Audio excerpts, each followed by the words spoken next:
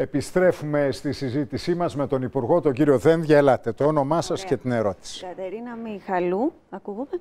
Ωραία. Ε, θέλω να ρωτήσω τον κύριο Υπουργό, εάν έχουν γίνει περικοπές ε, από το προσωπικό της αστυνομίας και σε συνάρτηση με αυτό, ε, κατά πόσο ε, μπορούν να εκπαιδευτούν πολίτες ε, και σίγουρα ε, και στα σύνορα, να, αντί για, ε, σε συνέχεια με το border police που έχουμε, να εκπαιδευτούν και οι ακρίτες μας που παίρνουν μόνοι τους τα όπλα. Προ, ε, β και, και μέσα στην Αττική να εκπαιδευτούν πολίτες να μπορούν να αντιμετωπίζουν τους διάφορους κλέφτες, τους οποιοδήποτε, όπως γίνεται και σεμινάρια με το ηλεκτρονικό έγκλημα. Για να... να κάνουμε πολιτοφυλακή δηλαδή.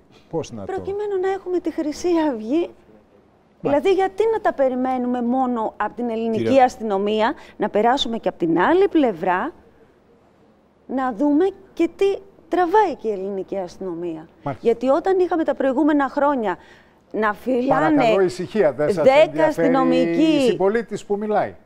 Παρακαλώ, θέρμα. Το λέω γιατί φορολογούμε και καθένας παραπολιτικός που σπάζει ένα μάρμαρο θα μπορεί να αποτελέσει ένα κοινωνικό έργο αντί να πάει φυλακή, αν είναι ανήλικος ή οτιδήποτε, και να δουλεύει σε αυτή την εργασία που κατέστρεψε, να δουλεύει εθελοντικά χωρίς να πληρώνεται για να αποζημιώσει τη δουλειά αυτή. Όπως ο κύριος που με κόπου.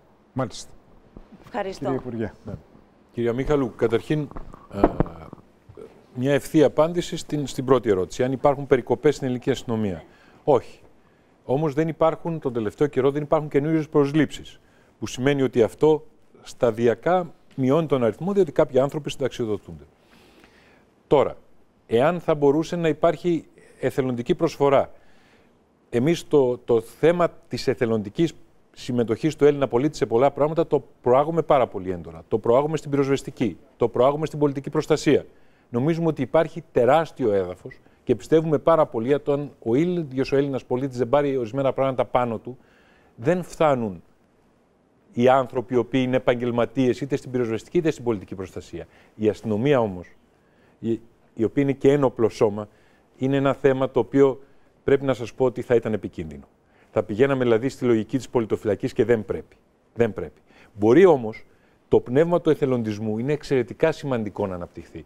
Είναι εξαιρετικά σημαντικό ο Έλληνας πολίτης να καταλάβει ότι είμαστε όλοι μαζί σε αυτή την προσπάθεια. Και ιδιαίτερα στην πυροσβεστική και στην πολιτική προστασία είναι κάτι το οποίο μπορεί να έχει και τεράστιο αποτέλεσμα. Όλες οι χώρες της Ευρώπης, ιδίως της κεντρικής Ευρώπης, πέραν από την επαγγελματική πυροσβεστική που είναι ένας πυρήνας, έχουν μια ευρύτερη ομάδα εθελοντών πυροσβεστών, οι οποίοι είναι άριστα εκπαιδευμένοι. Και είναι αυτοί οι οποίοι σηκώνουν ένα πολύ μεγάλο βάρος αυτή της ιστορίας.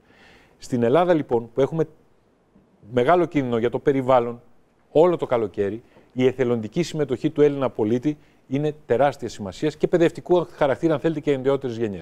Και είναι και πολύ ενδιαφέρουσα η άποψή σας για την κοινωνική εργασία. Δηλαδή, όποιος κάνει κάτι το οποίο δεν είναι τεράστιο, δεν αλλά είναι κάτι το οποίο είναι σχετικά μικρό. Αυτό σε άλλες Έχετε... χώρες είναι θεσμοθετημένο. Ναι, Στις Ηνωμένες Πολιτείες, για παράδειγμα, συμβαίνει. Σε είναι... αρκετές από τις είναι, Είναι πάρα πολύ ενδιαφέρον. Δεν είναι του δικού μου Υπουργείου, αλλά είναι πάρα πολύ ενδιαφέρον αυτό που λέτε. Πρέπει να πω ότι είχαμε δεκάδες ε, τηλεφωνήματα ε, και ε, μηνύματα στο διαδίκτυο από νεαρούς για αυτό που ελέγχθη πριν για το νόμο για το αλκοόλ και μας ρωτούν αν τρελαθήκαμε που κάνουμε τέτοια συζήτηση στην εποχή της κρίσης. Θα μας απαγορεύσετε, λέει, να πίνουμε και την πυρίτσα στο παγκάκι; Λοιπόν, ελάτε παρακαλώ.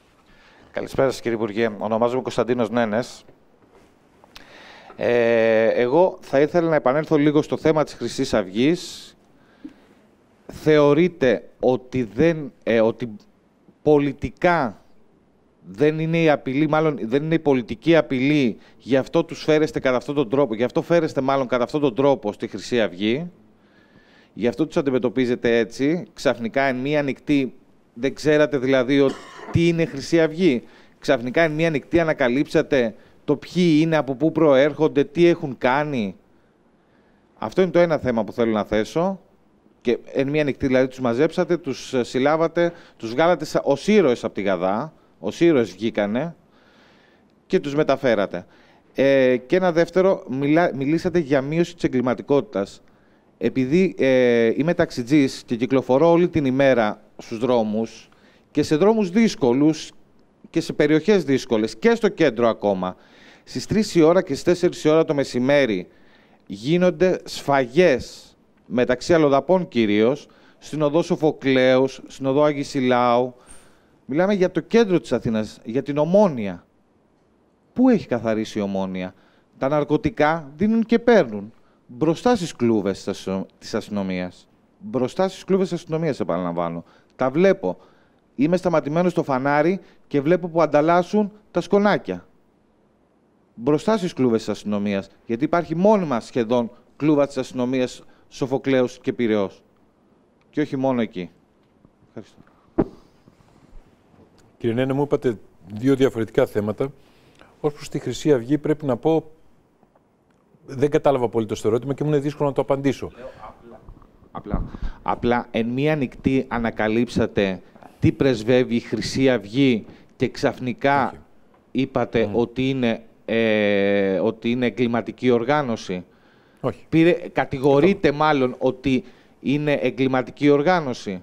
Εν μία νυχτή αυτό είδαμε ξαφνικά να συλλαμβάνονται η, το, το ηγετικό επιτελείο και την επόμενη μέρα να ε, σύρονται ως ήρωες να βγαίνουν, γιατί ως ήρωες βγήκανε. Έτσι ε, πέρασε, αυτή η αίσθηση πέρασε σε όλο τον ελληνικό λαό, ότι ως ήρωες βγήκανε από τη Γαδά, ενώ σε οποιαδήποτε άλλη περίπτωση, οποιοδήποτε άλλος κρατούμενος βγαίνει από, με τα τσιπάκια της αστυνομίας από το πίσω μέρος, οι συγκεκριμένοι βγήκαν από μπροστά ως ήρωες, και αυτό απορώ. Εν μία νυχτή ανακαλύψαμε ποια είναι η Χρυσή Αυγή. Κατάλαβα. Ε, λοιπόν, η απάντηση είναι όχι. Όχι. Αλλά εσείς έτσι όπως διατυπώσατε την ερώτησή σας, θέσατε θέμα ιδεολογίας. Η, η δίωξη που άσκησε ο αρμόδιος εισαγγελέας κατά της χρυσής αυγής δεν είχε να κάνει με την ιδεολογία της. Όσο και να απεχθήσει η ιδεολογία της, δεν έχω κανένα δικαίωμα εγώ, εσείς ή οποιοδήποτε άλλος, μιλάω για τον εαυτό μου κυρίως, να κρίνω την ιδεολογία οποιοδήποτε. Μπορεί να την απεχθάνουμε. Η Χρυσή Αυγή διώκεται για ένα πολύ συγκεκριμένο κακούργημα. Το κακούργημα της σύστασης εγκληματικής οργάνωσης. Αυτό κανείς δεν το κατάλαβε εν μία νυχτή. Εν μία νυχτή όμως, με το θάνατο του Μακαρίτη του Παύλου Φίσα, βρέθηκε στη δική μου κρίση. Εάν κάποιος άλλος είχε μια άλλη κρίση, όφιλε να έχει αναφερθεί νωρίτερα στις αρχές. Βρέθηκε εκείνο το αποδεικτικό υλικό που επέτρεψε να συνταχθεί η συγκεκριμένη αναφορά. με συγχωρείτε, αλλά Πάει να με πνίξει η Χρυσή Αυγή. η, να συνταχθεί η συγκεκριμένη αναφορά στην εισαγγελία του Πάγου και να τεκμηριωθεί, κατά την κρίση μου τουλάχιστον και κατά την κρίση του εισαγγελέα που άσκησε την ποινική δίωξη, η σύσταση εγκληματικής οργάνωσης. Το πώς βγαίνει κάποιος κρατούμενος από την Γαδά, αυτό δεν το ξέρω. Δεν είναι δουλειά μου, δεν ανακατεύομαι. Μπορώ να πω εγώ. Ω προς το άλλο θέμα, εντάξει, Υπάρχει μεγάλη βελτίωση, το ξέρετε κι εσείς. Εγώ δεν λέω ότι έχουν λυθεί τα προβλήματα, αλλά υπάρχει βελτίωση στο κέντρο της Αθήνας. Ελάτε. Κύριε Υπουργέ, ονομάζομαι Χαρέλας Παναγιώτης και είμαι ο πρόεδρος της Πανελλήνης Ομοσπονδίας Συνοριακών Φυλάκων. Ήθελα να ξεκινήσω για τους παράνομου μετανάστες, για το θέμα το μεταναστευτικό. Ε, στην Ευρώπη αποτελεί νούμερο ένα. Στην Ελλάδα, στη χώρα μας και επί της Προεδρίας που διανύουμε σήμερα, είναι το νούμερο 2 εθνικό θέμα για τα μεταναστευτικά κείμενα, κύματα που εισέρχονται στην, ε, στη χώρα μας. Και για τη διαχείριση βέβαια, πώς την κάνουμε και αν την κάνουμε.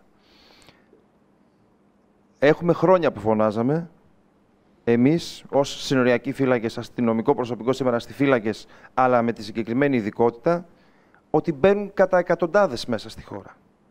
Έχουμε από το 2008 και 2009 φωνάζαμε ότι αυτοί φτάνουν στην Αθήνα. Τελικά φτάσαν στην Αθήνα. Και σήμερα πραγματικά δεν γνωρίζουμε πόσοι είναι.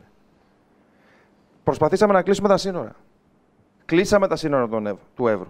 Αλλά θα μου επιτρέψετε να σας πω και μάλλον το γνωρίζετε και πολύ καλά, ανοίξαμε αλλού τα σύνορα. Ανοίξαμε τα σύνορα από τα Γιάννενα, από την Καστοριά, που έχουμε σοβαρό πρόβλημα, από τη Θεσπρωτεία, από τη Φλόρινα, από παντού. Ξέρετε γιατί; Γιατί από το 2002 έως σήμερα οι υπηρεσίες αυτές οι υπηρεσίες που ασχολούνται με τη συνοριακή φύλαξη, με τη δίωξη λαθρομετανάστευση, δεν ανανεώνουν το προσωπικό. Έχουν χάσει το 80% του προσωπικού τους. Δεν έχει ανανεωθεί το προσωπικό. Έχουν να γίνουν προσλήψεις από το 2002. Έχει φύγει ο κόσμος. Δεν υπάρχει προσωπικό. Και αυτή τη στιγμή αυτό που κάνουν στα σύνορα, αυτές οι υπηρεσίες, δεν είναι διαχείριση και φύλαξη σύνορων, αλλά διαχείριση και φύλαξη κρατουμένων στις υπηρεσίες τους. Αυτό είναι το ένα το κομμάτι. Τι θα κάνουμε λοιπόν με την ανανέωση του συγκεκριμένου προσωπικού; Γιατί αν πούμε ότι θα έρθει ο αστιφύλακας από τις πανελλαδικές να υπηρετήσει, σας διαβεβαιώνω ότι οι υπηρεσίες αυτές δεν έχουν ούτε έναν. Ή μάλλον για να μην υπερβάλλω έχουν το 2%. Άρα λοιπόν έχει φύγει το προσωπικό. Θα πρέπει να ανανεωθεί. δεν μπορούμε να φυλάξουμε τα σύνορα. Η προσπάθεια η οποία καταβλήθηκε και καταβάλλεται σήμερα εδώ και δύο χρόνια στον Εύρο, το γνωρίζετε ότι είναι πέρα από κάθε δυνατότητα και δύναμη την οποία έχουμε με αποσπάσεις. Το δεύτερο κομμάτι που ήθελα, το δεύτερο, ναι, το δεύτερο κομμάτι που, που, που, ήθελα να πω είναι οι εξοπλισμοί. Με τι, τι μέσα έχουμε. Μπορούμε και λαμβάνουμε χρήματα, και εδώ είναι το τραγελαφικό. Λαμβάνουμε χρήματα από την Ευρωπαϊκή Ένωση για εξοπλισμό, για οχήματα σε αυτές τις υπηρεσίες, αλλά θα μου επιτρέψετε να σας πω και θα σας το επιβεβαιώσω ότι δεν πάνε αυτά τα οχήματα στις υπηρεσίες αυτές. Και αναγκαζόμαστε να κυκλοφορούμε με αυτοκίνητα τα οποία μας φεύγουν οι τροχοί, χαλάνε, δεν, δεν, δεν έχουμε, χρήματα για να ε, αλλάξουμε τα λάδια και καταλαβαίνετε ότι η συνοριακή φύλαξη με το φιλότιμο και μόνο δεν μπορεί να γίνει. Πολλά πράγματα γίνονται με το φιλότιμο, αλλά μόνο με το φιλότιμο πολύ λίγα. Ναι. Λοιπόν. Πάντως όταν φεύγουν οι ρόδες, το να, φιλότιμο να δεν τις αντικαθιστά να, στο αυτοκίνητο. Λοιπόν, να το, το... Ξέρω τις απόψεις του Προέδρου. Που... Δύο διαφορετικά πράγματα λοιπόν. Πρώτον, τι γίνεται με το θέμα του προσωπικού, το οποίο είναι ευρύτερο. Το πιο εύκολο που θα μπορούσα να κάνω είναι να έρθω να πω εδώ λείπει προσωπικό. Χρειαζόμαστε προσωπικό. Η πραγματικότητα είναι ότι χρειαζόμαστε σιγά σιγά ανανέωση προσωπικού. Όχι όμως μεγαλύτερο αριθμό.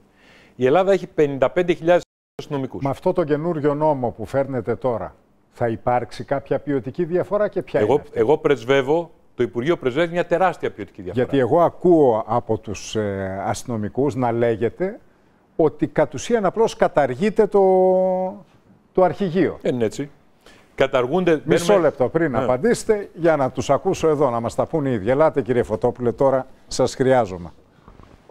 Κοιτάξτε κύριε Χατζηνικουλάου, κύριε Υπουργέ, Όμως δεν θα ήθελα να επικφύγω και σε άλλα ζητήματα που είχαν σχετικά με τη ναι, βία που μα εγκαλείται. Θέλω να μιλήσετε γι' αυτό, που είναι το πιο κρίσιμο γιατί είναι το μέλλον. Εμείς από την πλευρά μας πιστεύουμε ακράδαντα ότι για να γίνει μια αναδιοργάνωση, όπως λέγεται ο τίτλος της υπηρεσίας, πρωτίστως πρέπει να υπάρξει μεταρρύθμιση γενική για το σώμα της ελληνικής αστυνομίας. Ήμασταν οι πρώτοι που ζητούσαμε τη μεταρρύθμιση.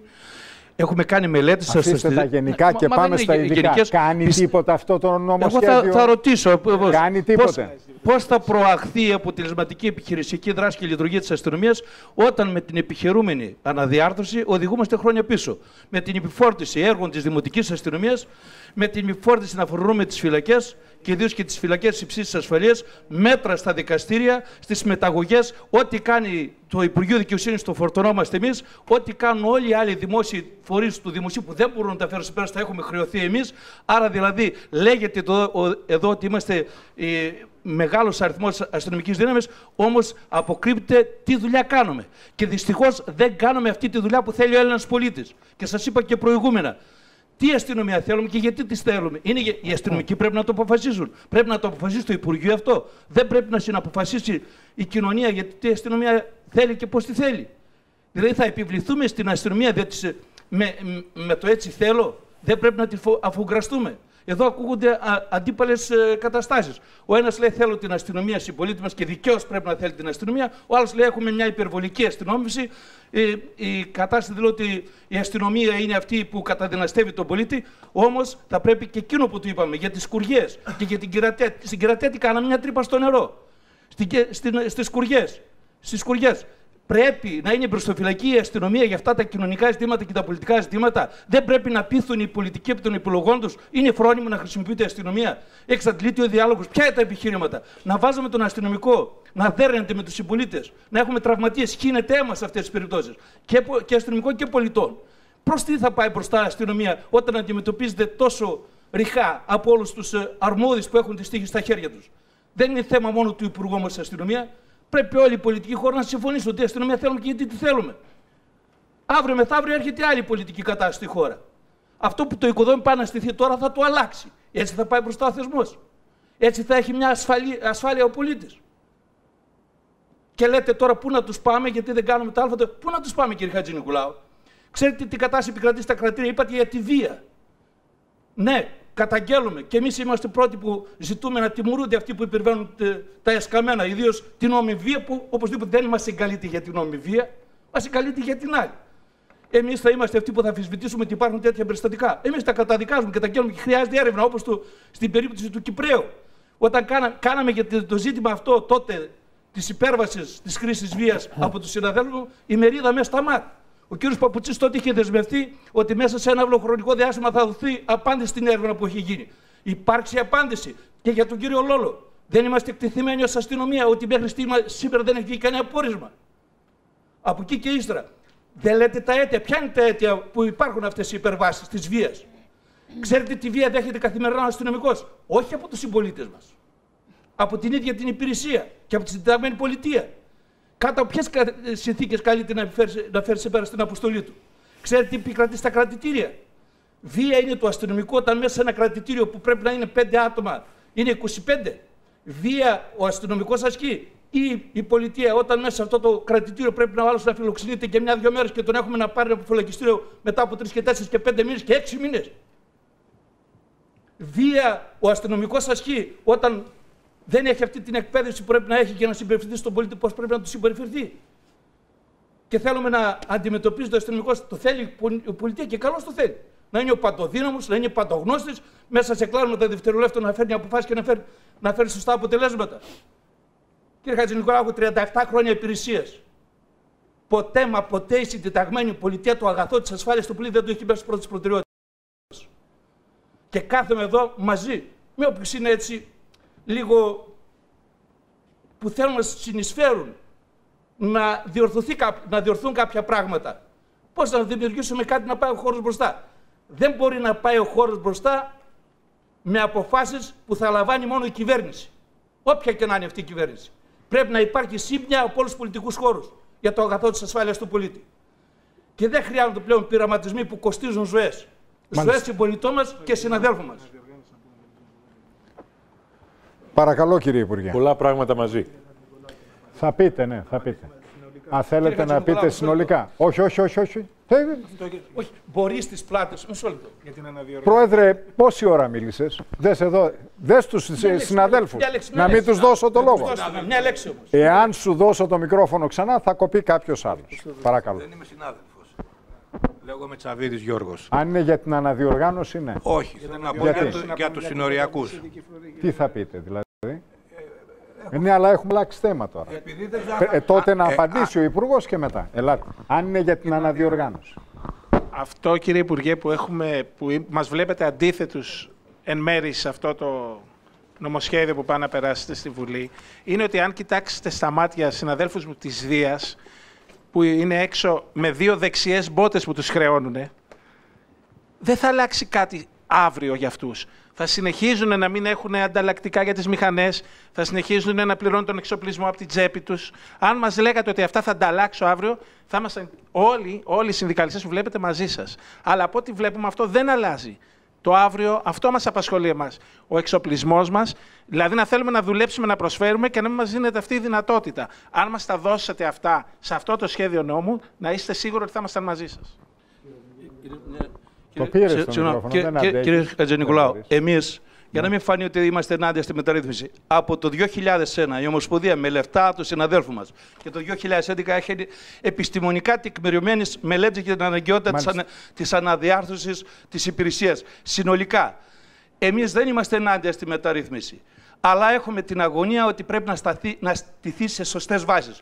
Ειλικρινά σας μιλάω. Σήμερα μίλησα, μίλησα κύριε Υπουργέ, μίλησα με πολλούς υπηρεσιακούς παράγοντες και με την ηγεσία. Κανένας τους μα κανένας τους και από τους πρώην αρχηγούς και στα υψηλά κλιμάκια της ιεραρχίας, αλλά και τους πολιτικούς χώρους και βουλευτές. Κανένας τους δεν έχει πιστεί ότι αυτό το νομοθέτημα. Μιλάω για την αστυνομία, για την αναδιοργάνωση της αστυνομίας, ότι μπορεί να τύχει εφαρμογής. δεν έχουν πιστεί. Και γι' αυτό και ζητάμε να υπάρχει εύθετος χρόνος να κάνουμε μια εργασία που θα έχει βάθος χρόνου σε στέρεας βάσει. Αν εξ, από την αρχή αυτό που πάμε να δημιουργήσουμε είναι εσφαλμένο και θέλουμε να το μπαλώνουμε, δεν θα πετύχουμε τίποτα. Ευχαριστώ, αυτό σας κύριε λέω είναι η Φωτόπουλο. επισήμανση με τις επαφές που είχαν υπηρεσιακού παράγοντες. Όχι. Όχι, όχι. Δεν γίνεται. Κρατήστε τις εδώ, μου τις δώσετε μετά. Ελάτε. Πάλι μεγάλωσε το πράγμα. Δίνετε... Ναι, αλλά είναι για το Μεγάλο. συγκεκριμένο Λοιπόν, θέμα. Να ξεκινήσουμε, πρώτα, να ξεκινήσουμε πρώτα από τα σύνορα. Στα σύνορα υπήρχε πρόβλημα και στα σύνορα υπάρχει πρόβλημα. Μία μέρα πριν ξεκινήσουμε τον ξένιο Δία, από τον Εύρο μπήκαν 500 κάτι άνθρωποι μέσα. Αυτή τη στιγμή δεν μπαίνουν 500 όλο το χρόνο.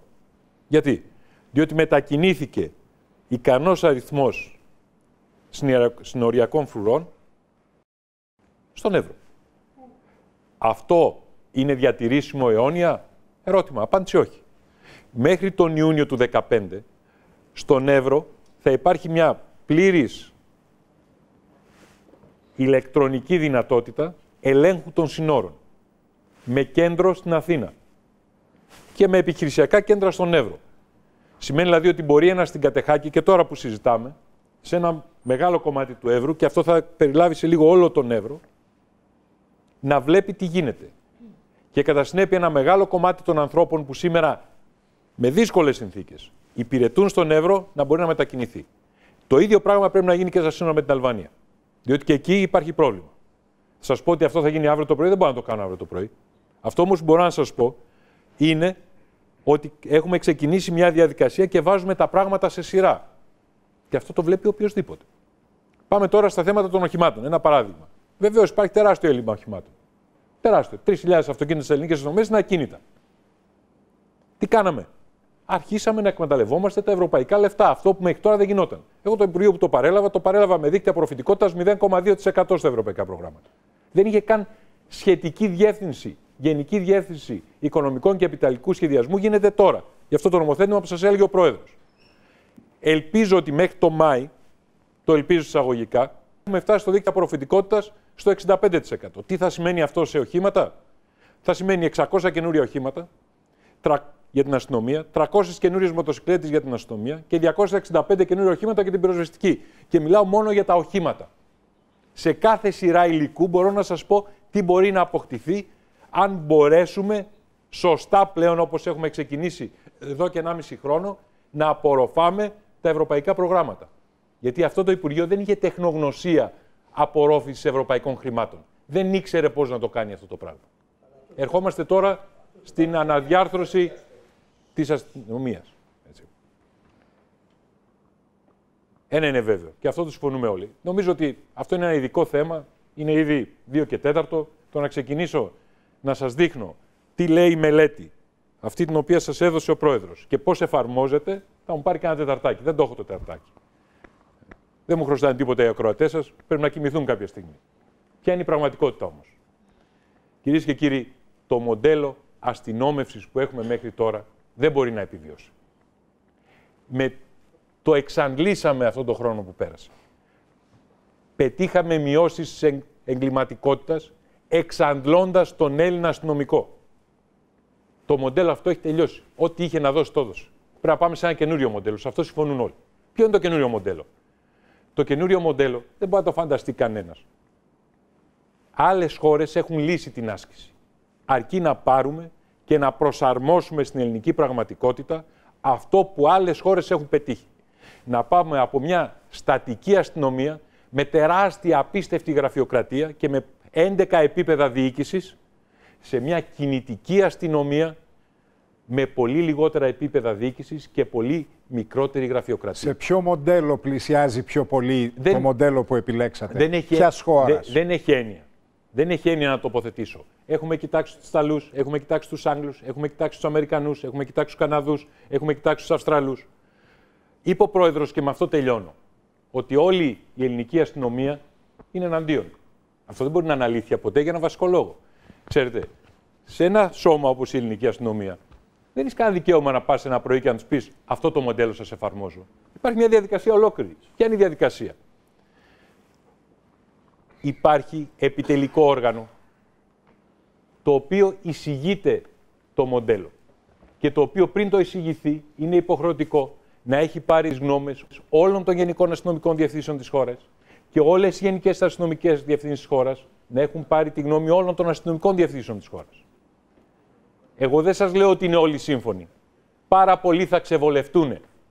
Πάρα πολλοί κόσμος ο οποίος ήταν σε καρέκλες μέχρι σήμερα, σε επιτελεία μέχρι σήμερα, σε γραφεία μέχρι σήμερα, θα φύγει και θα πάει στο δρόμο. Για να κάνει αυτό για το οποίο προσελήφθη. Υπηρεσίες στον Έλληνα πολίτη. Να σας δώσω έναν αριθμό. Υπάρχει ένας δείκτης μέτρησης. Λέει, από τις ώρες που παίρνουμε, πόσες ώρες όλο το προσωπικό δουλεύει κάποιες ώρες κάθε μέρα. Όλες αυτές οι ώρες πληρώνονται, όχι καλά πρέπει να πω, αλλά πληρώνονται από τον Έλληνα φορολογούμενο. Πόσες από αυτές τις ώρες που αγοράζει το ελληνικό κράτος από τα στελέχη το επιστρέφει πίσω στον πολίτη ως υπηρεσίες. Ένας δείκτης μιας προοδευμένης αστυνομίας, ας πούμε της Αγγλικής, είναι πάνω από 19%. Περίπου γύρω στο 20%. Ξέρετε πόσο είναι σε εμάς; 9,2. Γιατί είναι 9,2. Είναι τεμπέληδες οι αστυνομικοί; Όχι. Απασχολούνται σε μια ολόκληρη σειρά γραφειοκρατίας που δεν χρειάζεται σε επιτελεία, σε γραφεία, σε αρχηγεία που δεν εξυπηρετούν τον Έλληνα πολίτη. Εάν αυτό το 9, κάτι το ανεβάσουμε στο 13, σας θυμίζω ότι στην Ευρώπη είναι σχεδόν στο 20. Όχι λοιπόν στο 20, στο 13. Ο Έλληνας πολίτης θα έχει 50% περισσότερες υπηρεσίες ασφάλειας. Καταλαβαίνετε τι θα σημαίνει αυτό για τον κύριο στη Μιχαήλ Βόδα που προηγουμένως μου έλεγε παίρνω τηλέφωνο και δεν έχετε κανένας τι θα σημαίνει για τη γριούλα που θέλει κάποιον δίπλα της όταν πάει στην τράπεζα για να πάρει τη σύνταξή της στο τέλος του μήνα; Και από την άλλη, δεν χρειαζόμαστε αστυνομικά τμήματα που δεν μπορούν να στείλουν ούτε έναν άνθρωπο όταν ο πολίτης παίρνει τηλέφωνο και λέει «βοήθεια, με κλέβουν». Χρειαζόμαστε μια κινητή αστυνομία η οποία θα έχει δεδομένους χρόνους επέμβασης. Ο κάτοικος, ας πούμε, του Χαλανδρίου, για να πω ένα παράδειγμα, θα πρέπει να ξέρει όταν σηκώσει το τηλέφωνο και πει βοήθεια, έχω ανάγκη βοήθειας, ποιο είναι το απότατο χρονικό διάστημα στο οποίο θα υπάρχει ένα περιπολικό στην πόρτα του; Γιατί αν ο κάτοικος του Χαλανδρίου, ή ο κάτοικος του Φαλήρου, ή ο κάτοικος της Γλυφάδας, ή ο κάτοικος του Περιστερίου, ή ο κάτοικος του Εγάλεω, σηκώνει, ή ο κάτοικος της Κέρκυρας, σηκώνει το τηλέφωνο και παίρνει και το μόνο που εισπράττει είναι Α, να μην του σηκώνει το τηλέφωνο, Β, να τους σηκώνει και να με συγχωρείς, δεν έχω περιπολικό να σου στείλω, ή Γ, το περιβολικό κάνει τρεις ώρες. Αυτό δεν είναι κυρίες και κύριοι υπηρεσίες ασφάλειας. Πρέπει να αλλάξουμε. Είναι εύκολο; Καθόλου. Θα γίνει με ομοφωνία των πάντων; Αποκλείεται. Έχετε δει ποτέ ένας μηχανισμός να ομοφωνεί στο να μεταρρυθμιστεί αυτός ο ίδιος; Έχετε δει ποτέ όσοι κάθονται να δέχονται ευχαρίστως να φύγουν από το καθισιό των γραφείων και να βγουν στον δρόμο; Βεβαίως δεν γίνεται αυτό έτσι. Βεβαίως θα γίνει με σύγκρουση αν χρειαστεί. Είναι αυτονόητο αλλά είναι απαραίτητο για τον Έλληνα πολίτη. Σέβομαι κάθε διαφωνία. Σέβομαι κάθε διαφορετική άποψη. Αλλά ειλικρινά σας λέω, είναι το πιο απαραίτητο πράγμα που μπορούμε να κάνουμε για τον Έλληνα Έλληνα πολίτη. το πολύ σύντομα, παρακαλώ, γιατί τελειώνουμε. Κύριε Υπουργέ, εγώ ξέρω ένα ρητό. Σε όλες τις χώρες για να μέσα στο εσωτερικό τους να έχουν ασφάλεια, η ασφάλεια πληρώνεται. Αυτό δεν, όσο κοινικό ακούγεται είναι η αλήθεια αυτό το μοντέλο που κατεβάζεται της αναδιοργάνωση που έχει καλά στοιχεία μέσα. Δεν έχει μόνο. Όμως είναι για χώρες που δεν έχουν νησιά. Όλες οι χώρες που είπαμε πριν δεν έχουν νησιά. Τι θα γίνει στο Καστελόριζο που είναι τέσσερις αστιφύλακε με τους τρεις πυλώνες; Τι θα γίνει στα Δωδεκάνησα, ας πούμε, που θα υπάγεται η ασφάλεια στα Χανιά, η λαθρομετανάστευση στον Πειραιά; Και, τη, και, το, και η τάξη στη Σύρο. Θα έχουμε προβλήματα. Γι' αυτό θα παρακαλέσω να πάρετε πρωτοβουλία. Να τα συζητήσουμε. Όλα βγαίνουν από το διάλογο. Μάλιστα. Να γίνει Θέλει διάλογος, ακόμα ναι, μια δουλειά. Και κάτι άλλο. το μεγαλύτερο, όχι, όχι, το μεγαλύτερο πρόβλημα της αστυνόμευσης, ξέρετε, και για να Η κατασπατάληση δυνάμεων. Η κατασπατάληση δυνάμεων γίνεται. Μάλιστα. Ελάτε. Ελάτε. Καλησπέρα. Το όνομά σας. Φαραντάκης Αλέξανδρος, είμαι πρόεδρος της Πανελλήνιας Ομοσπονδίας Πενταετών και Συμβασιούχων Πυροσβεστών. Κύριε Υπουργέ, ε, σήμερα και καθώς και την προηγούμενη πέμπτη συνεχής της συζήτησης για την αναδιοργάνωση του πυροσβεστικού σώματος, γινήκατε αποδέχτης και αυτό είναι για μας τιμητικό από τις συνδικαλικές οργανώσεις των μονίμων, της Ομοσπονδίας των Μονίμων και της Ένωσης Αξιωματικών και της... Πάμε στην και- ουσία σας ναι, παρακαλώ, ελάτε. ε, προς την κατεύθυνση της ομογενοποίησης ότι δεν μπορεί το πυροσβεστικό σώμα να δουλέψει όταν είναι τριχοτιμημένο. Δεν γίνεται να δουλέψει. Δεν έχει τα επιθυμητά αποτελέσματα. Πρώτον, ε, η λίστα επιλαχόντων που είναι για τους πενταετής πυροσβέστες προτίθεστε από τα τρία έτη που είναι στο 39-38 να τον επάτε στα πέντε έτη και το τρίτο που α- αυτή τη στιγμή λέτε ότι η πυροσβεστική, το λέει το νομοσχέδιο, ότι η πυροσβεστική γίνεται βραχίωνας της πολιτικής προστασίας. Εκεί έχουμε ένα έμπειρο προσωπικό και με πολύ μεγάλη εμπειρία και προϋπηρεσία ε, ότι αυτό το προσωπικό δεν έτυχε των ευεργετημάτων του νόμου του 39-38 αν δύναται να το αξιοποιήσετε το καλοκαίρι στη φωτιά 5 μήνες 6 και τον υπόλοιπο καιρό ε, στην πολιτική προστασία. Ευχαριστώ. Μια σύντομη απάντηση, κύριε Υπουργέ. Στον, πρω- στον πρώτο πρόεδρο, τον κύριο Γερακαράκο, καταρχήν έχει, έχει ένα δίκαιο σε αυτό που λέει. Ότι η ασφάλεια πληρώνεται. Και πρέπει να είμαστε τίμοι σε αυτό. Το ελληνικό κράτος απέναντι στον Έλληνα αστυνομικό είναι τσίπικο. Δεν του δίνει ως αντίτιμο αυτό που ο Έλληνας αστυνομικός παρέχει στο ελληνικό κράτος. Τώρα, ως προς το ζήτημα των νησιών. Αλήθεια υπήρξε θέμα με τον τα νησιά. Και αλήθεια το εξετάσαμε. Και αλήθεια εξετάσαμε και το αγγλικό μοντέλο που έχουν νησιά για να δούμε τι κάνουμε με τα νησιά. Βεβαίως έχει ιδιαιτερότητες, όμως αντιμετωπίζεται. Και αν κρίνετε εσείς ότι σε κάτι μπορούμε να βελτιώσουμε, βεβαίως να βελτιώσουμε. Κανένας δεν λέει ότι ξέρει την εξ αποκαλύψεως αλήθεια, πρόεδρε, και ότι είπε αυτό είναι και τίποτα άλλο.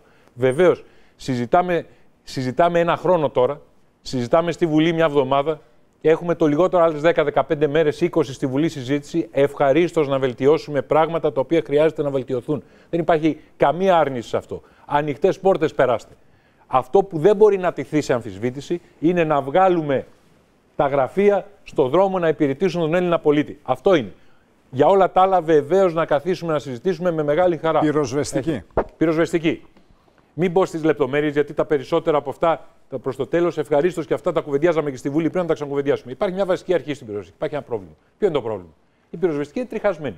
Έχει τριών διαφορετικών ειδών προσωπικό. Δεν, είναι, δεν γίνεται αυτό. Αυτό έγινε εξαιτίας προσλήψεων πενταετών, ας πούμε, οι οποίοι ήταν άλλη κατηγορία. Αυτή τη στιγμή φανταστείτε μια κατάσταση στην οποία ξεκινάς να σβήσεις μια φωτιά. Στη μέση του δρόμου, λοιπόν, δεν γίνεται γιατί υπάρχει και φιλότιμος στου ανθρώπους. Αλλά φανταστείτε το έτσι. Ξεκινάει ο διοικητής του πυροσβεστικού σταθμού να πάει να σβήσει τη φωτιά. Στη μέση του δρόμου περνάει το οκτάρο για τους μισούς και του λένε Άπε, εμείς μέχρι εδώ πήγαινε με τους υπόλοιπους. Καταλαβαίνετε τι έχει να γίνει. Έτσι. Αυτό δεν είναι σοβαρά πράγματα, δεν είναι κράτο αυτό. Λοιπόν, από εκεί και πέρα λοιπόν, από εκεί και πέρα λοιπόν, πρέπει πρόεδρε να ομογενειοποιηθεί. Πού είναι, πού είναι, πού είναι το. Θα μου πεις και δεν το κάνεις. Θα σου πω γιατί δεν το κάνω. Γιατί έχω το Γενικό Λογιστήριο του κράτους που δεν μου δίνει τα λεφτά να το κάνω. Γιατί αυτό έχει ένα κόστος. Αυτό το νομοθέτημα όμως προβλέπει ότι αυτή είναι η πορεία των πραγμάτων. Και το κάνει με συγκεκριμένους τρόπους. Με εξίσωση καθηκόντων. Λοιπόν, η πορεία είναι η ομογενειοποίηση. Άλλο τρόπο δεν έχει για να φτιάξουμε μια σοβαρή πυροσβεστική. Αλλά πρόεδρε, και χρειάζεται και ο εθελοντισμός. Έτσι. Δεν μπορεί να πάμε σε μια χώρα που θα καθόμαστε και θα κοιτάμε μόνο τους πυροσβέστες να σβήνουν. Πολύ σύντομα. Πώς δεν γίνεται; Γίνεται, βέβαια. Κύριε Υπουργέ, Ελάτε. Ε, Αφού λέγομαι, το Τσα... έκανα, πώς δεν γίνεται; λέγομαι Τσαβίδης Γιώργος. Κατάγομαι από ένα χωριό της Υπήρου. Ο, ο πρόεδρος των συνοριακών φυλάκων, φοβάμαι κι εσείς, κάνετε διαχείριση της μισής πραγματικότητας. Τι το λέω αυτό; Έχω στοιχεία τα οποία τα ξέρετε σίγουρα κι εσείς. Από την αστυνομική διεύθυνση Υπήρου. Από τους 15 τόνους ναρκωτικών που κατασχέσατε οι υπηρεσίες σας το 2013, οι 9,5 κατασχέθηκαν στην Ήπειρο. Αυτό συμ- σημαίνει ότι είναι σε ελληματάρσιατικότητα και μην μου πείτε ότι έχετε μεγάλη επιτυχία, γιατί εγώ θα σας ανταπαντήσω ότι πόσοι άλλοι τόνοι έχουν περάσει ανέλεκτοι. Ε, να μην πιάσουμε το αστυνομικό δελτίο, γιατί σας λέω τα τα έχετε τα στοιχεία. Θέλω να πω μόνο ότι οι συνδικαλιστές της αστυνομίας, από τους περιστοιχίζομαι παρεπιπτόντως, ε, λένε ότι έχετε μετακινήσει σιωπηρά, καταγγέλνουν δηλαδή τη φυσική ηγεσία και την πολιτική ηγεσία. Τα έχω εδώ τα, τα δελτία και τα δημοσιεύματα. Ότι έχουν μετακινηθεί σιωπηρά, ε, στον Εύρο κυρίως, για να ενισχύσουν τη δύναμη της Frontex, πάρα πολύ, ή σχεδόν η μισή δύναμη, ίσως και περισσότερη από, τη, από, την Ήπειρο. Επίσης, σε αλότρια καθήκοντα, σε άλλες υπηρεσίες δηλαδή, περίπου το 55 με 70% έχει μετακινηθεί, παρόλο που ο νόμος ε, απαγορεύει τη μετακίνηση από αυτές τις ειδικές υπηρεσίες. Κάπως έτσι είναι. Το έχω εδώ. Επίσης, ε, ο, οι συνοριακοί των Ιωαννίνων καταγγέλουν ότι γίνονται και ψηφοθυρικοί από τους συνδικάτες, γι' αυτό αναφέρθηκα, ε, ε, μετακινήσεις για ψηφοθυρικούς λόγους. Εδώ τα χόλα. Έλα, λοιπόν, μια ε, ε, υπάρχει εγκληματικότητα έτσι, και αν, κύριε Χατζηνικολάου, ήταν το πρόβλημα στην, στο χωριό σας, μπορεί να μην με ενδιέφερε. Όμως εκεί είναι οι γονείς μας, τα αδέλφια και μας. Το δικό μου χωριό έχει τα ίδια προβλήματα γιατί είναι στον Εύρο. Τα παιδιά μας στέλνουν τα παιδιά τους να, σε διακοπές στο χωριό. Σύμφωνα. Καταλαβαίνετε τι γίνεται. Κύριε Υπουργέ, σύντομη απάντηση, Κύριε παρακαλώ. Σαββίδη, Αν μου επιτρέπετε, από, τελευταία ποιο, από ερώτηση ποιο χωριό εσείς. είστε; Από το Πογόνι την Καστάνια. Από το Πόγον. Την ξέρω, είμα- είμαστε γείτονες, την ξέρω την Γι' περιοχή. αυτό δεν αναφέρθηκα στο χωριό σας. Ναι, Την- την Τη- πατρίδα τη- σας. την ξέρω την περιοχή καλά. Δεν, είστε, δεν είναι έτσι με τους συνοριοφύλακες. Δεν είναι έτσι.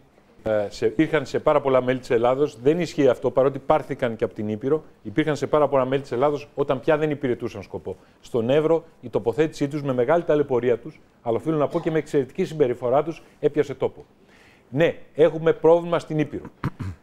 Δεν μπορώ να το λύσω αύριο το πρωί. Δεν μπορεί η ελληνική αστυνομία να το λύσει αύριο το πρωί. Να είμαι ξεκάθαρος σε αυτό. Υπάρχει σχεδιασμός ενός προγράμματος ανάλογου με τον Εύρο, εγκατάστασης πλήρους συστήματος καμερών στην Ελληνοαλβανική μεθόριο, διότι η Ελληνοαλβανική μεθόριο είναι πολύ πιο δύσκολη από τον Εύρο, διότι όπως εσείς ξέρετε καλά, δεν είναι παντού παιδινή. Έτσι. Όταν πας στο γράμμο, όταν πας προς το Βίτσι, είναι, είναι αδύνατον να την αστυνομεύσεις με ανθρώπους. Λοιπόν. Και επίσης υπάρχει συνεννόηση με τον Υπουργό Εθνικής Άμυνας να αρχίσουμε να μετακινούμε και μονάδες σιγά σιγά στρατού προς τα σύνορα. Όχι γιατί θα αστυνομεύσουν, αλλά η παρουσία τους και μόνο λειτουργεί αποτρεπτικά. Υπάρχει μια συζήτηση και σε αυτό. Υπολογίζω ότι σε ένα, μια τριετία περίπου θα μπορέσουμε να έχουμε εντάξει όλη την ελληνοαλβανική μεθόριο σε ανάλογο πρόγραμμα με τον Εύρο, να έχουμε ξεκινήσει την υλοποίηση, να έχουμε τελειώσει το 2015 με τον Εύρο και να έχουμε μετακινήσει δυνάμεις προς την Ήπειρο. Ναρκωτικά η σύλληψη ποσοτήτων ναρκωτικών είναι αυξημένη. Όπως και η σύλληψη όπλων είναι αυξημένη.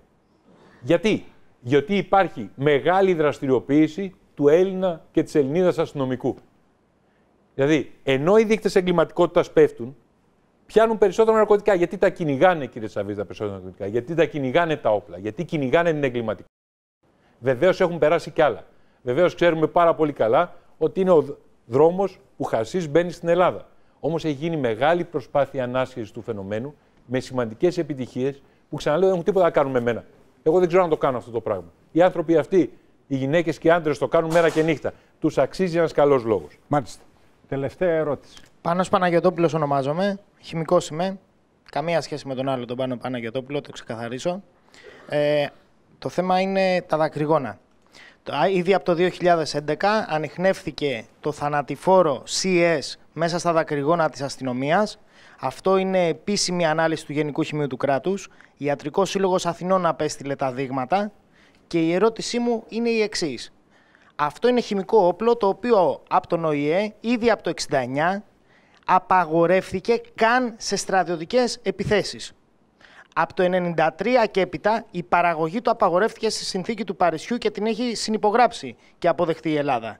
Από πού αγοράζετε εσείς δακρυγόνα κύριε Δένδια και περιέχεται αυτή η ουσία; Και δεύτερον, πού πετάτε τα κενά δοχεία των δακρυγόνων ώστε να είναι ασφαλή για τους ανθρώπους και την κοινωνία; Επισημένω ότι για πολλούς από εμάς το Υπουργείο Προστασίας του Πολίτη τίνει να είναι προστασία του επιχειρηματία. Του επιχειρηματία που φτιάχνει το χιτά στην κερατέα, του ίδιου επιχειρηματία που κάνει το χρυσό στις κουριές, του ίδιου επιχειρηματία που φτιάχνει τα διόδια και στείνονται τα περιπολικά για να μας πάρουν τα διπλώματα και τις πινακίδες. Και κάτι ακόμα, μπροστά από τη δημοκρατία δεν παίρνει επίθετο. Ή έχουμε δημοκρατία ή κάτι άλλο. Ευχαριστώ. Μου τα μπερδέψατε κύριε Παναγιωτόπουλε στο δεύτερο μισό. Α, στο θα πρώτο το μισό θα αφήσω σας το απαντούσα μικρόφωνο. τίμια. Πεςτε μου, πεςτε μου. Τι, ε, πείτε μου πού μπερδευτήκατε. Το πρώτο έχει να κάνει από πού αγοράζετε Όχι, όχι, κάτι όχι, μπορώ, που είναι θα σας πω, θα απαγορευμένο. σας πω, θα σας πω. Μετά Θα για σας τη πω. δημοκρατία. Καταρχήν, όπως καταλαβαίνετε, πού να ξέρω από πού αγοράζουν δακρυγόνα. Λυπάμαι. Δεν, δεν είμαι. Προείσταστε. Έτσι. Και όπως καταλαβαίνετε, δεν εγκρίνω ούτε τις αγορές δακρυγόνων ούτε τις αγορές υλικών. Υπουργός είμαι. Όμως, εάν σας Προείσταστε. ενδιαφέρει ειλικρινά, θα μου επιτρέψει ο κ. Κατζηνικολάου να του πω ποιος στον τελευταίο διαγωνισμό ποιος είναι ο προμηθευτής και να τον μάθετε. Ούτε γνωρίζω. Αυτό που μου λέτε θα το ψάξω. Είναι προφανές ότι δεν μπορεί τα δακρυγόνα τα οποία εισέρχονται νόμιμα στην Ελλάδα να περιέχουν. Δεν, έχω, δεν σας διαψεύδωσα κάτι. Επίσημη δεν- ανάλυση. Κρατική Κύριε υπηρεσία είναι το Παναγόπουλε, Γενικό δεν Σημείο του ξέρω. Κράτου, κύριε Υπουργέ. Ακούστε, δεν έχω την ψευδέστηση ότι τα ξέρω όλα. Σας λέω απλώς Σας ότι. το μου- κοινοποιώ. Μου κάνει. Δεν μου τη δίνετε, δεν μου την κοινοποιείτε, μαζί είμαστε εδώ. Λοιπόν, ευχαρίστως να το δω και να σας απαντήσω. Αυτό που μου λέτε δεν το ξέρω όμως. Δεν μπορώ να σας πω τα ξέρω όλα σε αυτόν τον κόσμο, αλλά μόνο μου. Δεν το ξέρω. Μου κάνει εντύπωση όμως ότι αν, γιατί αν μου λέγατε πρόσφατα θα σας έλεγα. Εάν μου, λέγα, μου λέτε ότι το 2002 εισάγεται μια απαγορευμένη ουσία Από το στη χώρα 11. και κανείς δεν το έχει αντιμετωπίσει, μου κάνει μια εντύπωση, θα το ψάξω και θα σας πω. Γενικά, αν με ρωτάτε εμένα, θα σας πω ότι πρώτον, η γενι- ο γενικός τρόπος αντιμετώπισης των οποιονδήποτε καταστάσεων στο κέντρο της Αθήνας, διότι εκεί γινόταν η μεγάλη χρήση δακρυγόνων, έχει οδηγήσει σε ελαχιστοποίηση της χρήσης δακρυγόνων τον τελευταίο καιρό. Αυτό νομίζω το καταλαβαίνει οποιοδήποτε. Αν με ρωτάτε εμένα δε προσωπικά, είμαι υπέρ της χρήσης του νερού και έχω κατηγορηθεί και γι' αυτό. Διότι επί των ημερών αυτής της κυβέρνησης η χώρα προμηθεύτηκε μηχανήματα εκτόξευσης νερού, ακριβώς διότι εάν φτάσει το πράγμα εκεί, που δόξα τω Θεώ δεν έχει φτάσει, είναι πολύ περιορισμένες οι συγκρούσεις. Εάν το πράγμα φτάσει μέχρι εκεί, αντί να γεμίζεις δακρυγόνα όλο το κέντρο, που ζητώ παλιά δεν μπορούσε να περπατήσει κανένας, να μπορεί εναλλακτικά να χρησιμοποιείται το νερό. Τελευταία ερώτηση. Υπουργέ. Και το εννοώ. Ελάτε. Κύριε Υπουργέ, θα ήθελα να επανέλθω εγώ στην ερώτηση που μου είχε διακόψει ο κύριος Κατζηνικολάου. Αυτός φταίει για όλα. Αυτός. Ναι. Τι φταίει, τι έφτεξε μάλλον και χρεοκόπησε η χώρα. Ποιοι φταίξανε, γιατί ε, ε, δεν δώσανε ε, αναφορά, ε, ποιοι είναι οι υπεύθυνοι, γιατί δεν τιμωρήθηκαν, τι θα γίνει. Το διατάφτατο τι θα γίνει από εδώ και πέρα, είμαι μαζί σας. Αυτό πρέπει να κοιτάξουμε. Αλλά δεν πρέπει να κοιτάξουμε και αυτοί που ευθύνονται, ε, να, του, ε, να δούμε γιατί. Τι έγινε και χρεοκόψει η χώρα. Ποιοι ευθύνονται. Πρέπει να τιμωρηθούν. Δεν πρέπει να τιμωρηθούν. Ξέρετε, είναι... α, Για να σας απαντήσω σε αυτό θα πρέπει να σας μιλάω περίπου μια ώρα. Απαντήστε Λοιπόν, μου με ένα λεπτό. Ξέρω Ναι, εγώ τι να αλλά θα, να προσπαθήσω να, να σας απαντήσω σύντομα. Ευχαριστώ. Έτσι. Η, η πραγματικότητα είναι ότι περίπου όλοι ξέρουμε τι έχει γίνει. Περίπου όλοι ξέρουμε τι έχει γίνει. Ε, όχι τώρα. Δεν είστε, δεν είστε από έναν άλλο κόσμο. Έτσι. Είναι προφανές ότι υπάρχουν ευθύνες. Υπάρχουν ευθύνες σε όλους. Βεβαίως δεν υπάρχουν ίσες ευθύνες σε όλους. Έτσι. Δεν μπορεί εσείς που ήσασταν στο σπίτι σας να έχετε την ίδια ευθύνη με μένα που ήμουν υπουργός, παραδείγματος χάρη. Είναι προφανές ότι εγώ έχω πολύ μεγαλύτερη. Όμως όλη η ελληνική κοινωνία Πάντως έχει, σε άλλες έχει τις χώρες ευθύνες της. αναζητήθηκαν οι ευθύνες αυτές, ενώ στην Ελλάδα αποφεύγει το πολιτικό σύστημα να τις αναζητήσει. Αυτό, είναι εγώ, το θέμα. αυτό δεν το πιστεύω. δεν πιστεύω, το πιστεύετε; πιστεύω αντιθέτως. Το κόμμα σας, ε, Να κύριε το- Δένδια, είχε προεκλογικά υποσχεθεί σε αυτό, θα εξεταστική έρθω. επιτροπή. σε αυτό θα έρθω. Σε αυτό θα έρθω. Υπάρχει μια προτεραιοποίηση. Η προτεραιοποίηση δεν μπορεί παρά να είναι πρώτα απ' όλα η κοινή σωτηρία. Να σωθούμε. Νομίζω ότι. Νομίζω, μπορεί κάποιος άλλος να έχει άλλη γνώμη από έναν άλλο πολιτικό χώρο, ότι είμαστε σε ένα καλό δρόμο για να σωθούμε. Δεν σημαίνει όμως ότι έχουμε σωθεί. Ότι είμαστε σε έναν καλό δρόμο για να σωθούμε. Δηλαδή να βγούμε από αυτή την κατάσταση. Θα λογοδοτήσουν ποτέ οι Από εκεί, από εκεί και πέρα, εφόσον σωθούμε, τότε έχει πραγματικά μια έννοια και είναι πολύ σοβαρό να γυρίσουμε πίσω, όχι για να τιμωρήσουμε αν θέλετε, αλλά για να δούμε σαν κράτος, σαν κοινωνία, τι έγινε στραβά όλα αυτά τα χρόνια. Διότι αν δεν το καταγράψουμε Μιλάτε σωστά χωρίς αυτό, μικρόφωνο. από εκεί και Δεν πέρα ακούγεσαι. θα έχουμε προβλήματα στο μέλλον. Το τι κάναμε στραβό όλοι, ο καθένας από τον τομέα του πρέπει να το βρούμε πολύ καθαρά. Και σε αυτό συμφωνώ απολύτως Πάντως μαζί η σας. τιμωρία λειτουργεί και ως πρόληψη. Σύμφωνοι. Σας ευχαριστώ κύριε Υπουργέ, ευχαριστώ και τους συμπολίτες μας. Όσοι δεν πρόλαβαν να ρωτήσουν έχουν δικαίωμα συμμετοχής στην επόμενη εκπομπή. Μας αδίκησες όμως. Ορίστε. Ο, ο μοναδικός. Ομογενής. Ε, εντάξει, τώρα έτσι που το είπες, θα μείνει εδώ ο κύριος Δένδιας για άλλα πέντε λεπτά, τρία λεπτά όσα Παρακαλώ, χρειάζονται. αλλήμον. Ελάτε. Συγγνώμη. Ε, έχω 24 εδώ στην Ελλάδα. Μπορώ να σου πω και σήμερα δεν έχω τα απαιτούμενα χαρτιά. Ο λόγος μια γρα- γραφειοκρατία η οποία μ, πάει στις καλέντες ελληνικές. Από πού, από πού ποια έχετε χώρα; έρθει; Ε, από την Αλβανία. στην Αλβανία. Ε, ο λόγος. Έχει μια γραφειοκρατία στη- στο Αλλοδαπών εκεί το οποίο το εξής ότι σου ζητάνε μια βίζα απαιτούμενη από την ελληνική πρεσβεία στα Τύρανα, την παίρνεις αυτή και σου ξαναγυρίζουν πάλι εκεί αν είναι γνήσια. Δηλαδή, μιλάμε τώρα για, για, ένα, για ένα τρελό πράγμα. Δηλαδή, πήγαινε, έλα τα χαρτιά και. Κάτι άλλο ήθελα να πω. Είπατε για τα σύνορα, τα αλβανικά, ελληνοαλβανικά σύνορα με το χασίσι, με τα ναρκωτικά και αυτά. Εγώ πιστεύω σήμερα υπάρχει η καλύτερη συνεργασία που μπορεί να γίνει με τη σημερινή κυβέρνηση.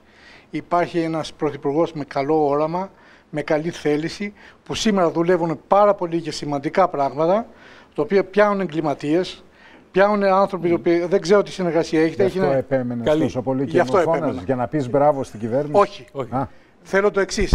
Να κάνουν μια Μα καλή. δεν λέει μπράβο στην ελληνική Δεν λέω κυβέρνηση. στην α, στην αλβανική. Στην αλβανική αλβανική κυβέρνηση λέει. Ο οποίος υπάρχει μια θέληση πολύ. Όχι, δεν το ξέρετε μάλλον. Δεν το γνωρίζετε. Τι να γνωρίζω; Δεν το γνωρίζετε γιατί ε, ο σημερινός πρωθυπουργός.